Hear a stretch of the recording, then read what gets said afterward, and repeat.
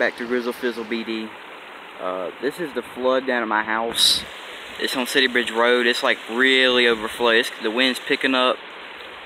Uh, if y'all live in Perkinston, don't go down City Bridge Road because there's like really, it's flooding down here. So yeah, this is uh, I mean, it's flooding. It's flooded. Really, it's like five feet down there. I just went, it's really deep down there. I went through there. That's deep. So yeah, uh, peace out guys and have a good day.